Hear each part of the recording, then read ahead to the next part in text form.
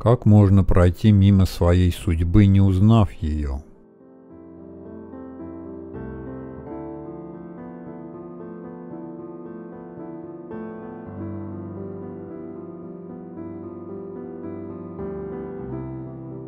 Жизнь — это четки, составленные из мелких невзгод, и философ, смеясь, перебирает их.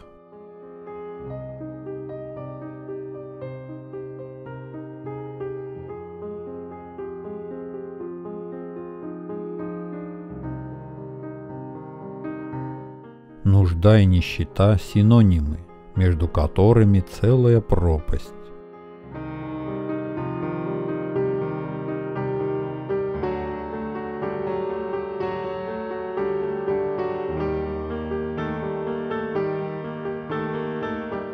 Как легко ошибиться, если судишь о других по себе.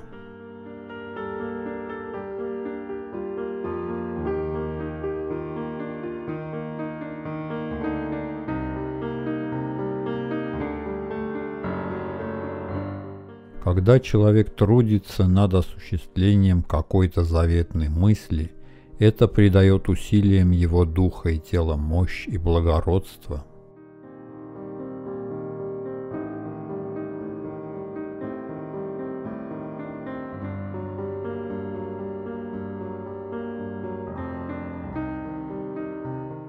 Иногда сказать можно многое, а порою ничего. Ведь у одних счастье бывает многословным, а у других – молчаливым.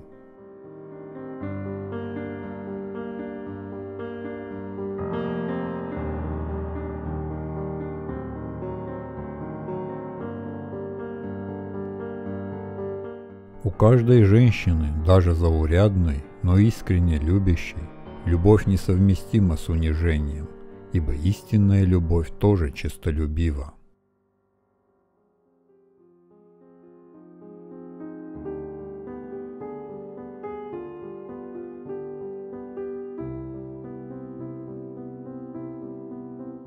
Больным сердцам милы потемки, ибо они населяют их призраками –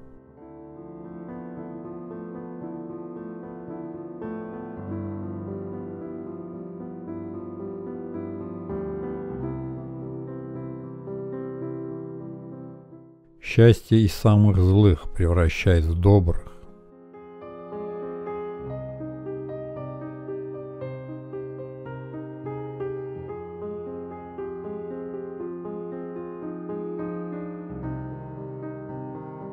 Опасность издали иногда пугает сильнее, чем вблизи.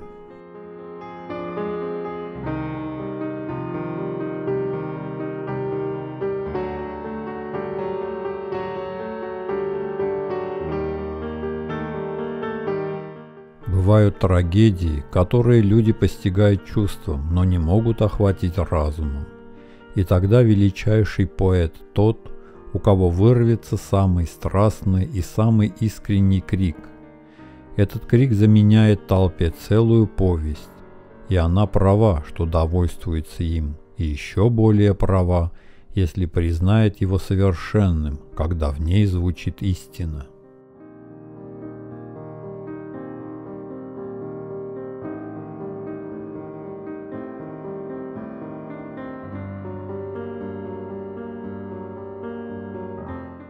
«Женщины изменчивы», — сказал Франциск I. «Женщина подобна воле», — сказал Шекспир. Один был великий король, другой великий поэт. И уж, наверное, они оба хорошо знали женскую природу.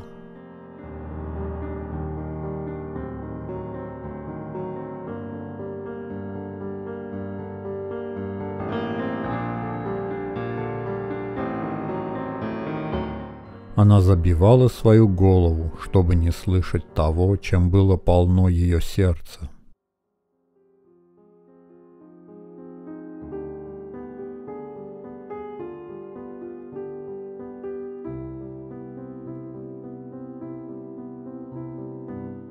В жизни самое важное – смерть.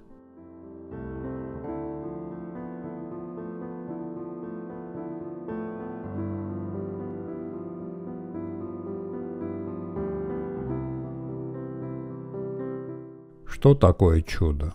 То, чего мы не понимаем. Что всего желание? То, что недосягаемо.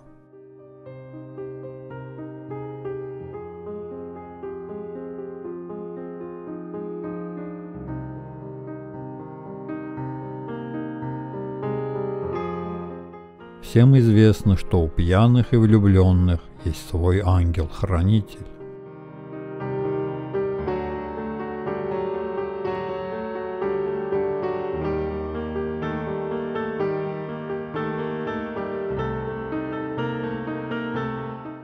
Ведь письмо – это летящая стрела. Известно, откуда она направлена, откуда она пущена, но неведомо, где она упадет и кого настигнет.